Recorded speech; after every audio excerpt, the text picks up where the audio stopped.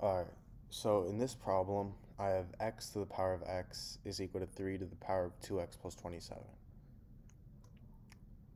So to solve this, if I have something in the form a to the power of m plus n, this is equal to a to the power of m times a to the power of n.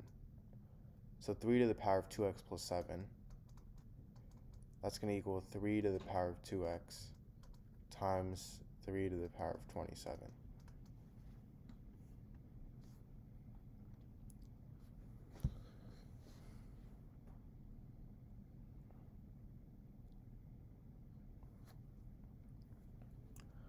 Now, I'm going to divide both sides by 3 to the power of 2x.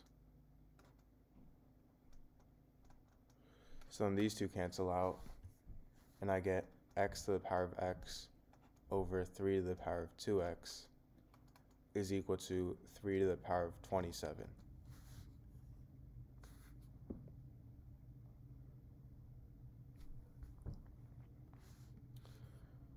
Now, this is the same thing as 3 to the power of 2 to the power of x, because remember, if I have something from a to the power of m times n, this is equal to a to the power of m to the power of n.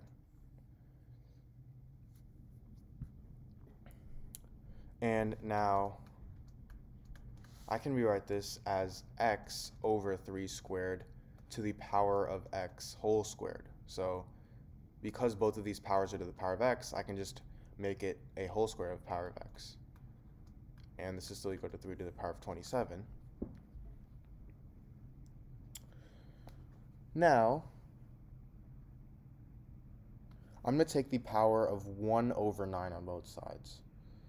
So I get x over 3 squared, which we can rewrite as 9, to the power of x, to the power of 1 over 9 is equal to 3 to the power of 27 to the power of 1 over 9. And if I have something in the form a to the power of m to the power of n, this is equal to a to the power of m times n. So x over 9 to the power of x to the power of 1 over 9 is equal to x over 9 to the power of x times 1 over 9, which is equal to 3 to the power of 27 times 1 over 9. Now x times 1 over 9 is x over 9, so I get x over 9 to the power of x over 9 is equal to 3 to the power of 27 times 1 over 9, which is 3. And now if something is in the form a to the power of a is equal to b to the power of b, this means that a is equal to b.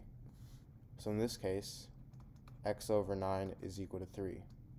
And if I multiply both sides by 9, these two cancel out, and I get x is equal to 3 times 9, which is 27.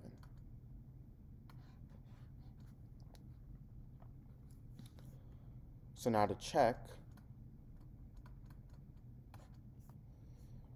my original equation was x to the power of x is equal to 3 to the power of 2x plus 27.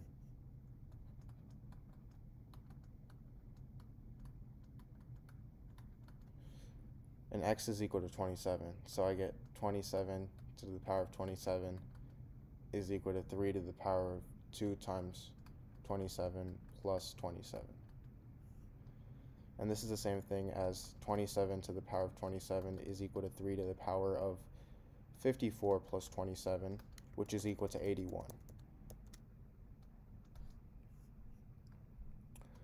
Now, 27 is the same thing as 3 to the power of 3, so I get 3 to the power of 3 times 27, which is equal to 3 to the power of 81. So I get 3 to the power of 81 is equal to 3 to the power of 81.